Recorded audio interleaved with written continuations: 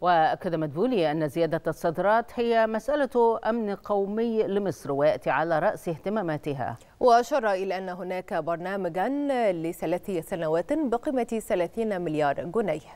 الحكومة الحقيقة عملت برنامج مهم جدا كبرنامج جديد هيستمر لمدة ثلاث سنوات قادمة اعتبارا من العام المالي القادم وهو إن هيبقى عندنا برنامج وده تم التوافق فيه مع مجالس التسطير والغرف التجارية هيبقى لمدة ثلاث سنوات بضوابط محددة ثابتة ويمكن حطينا أول عام منه العام 23 24 ما يقرب من أو 30 مليار جنيه دعم صادرات.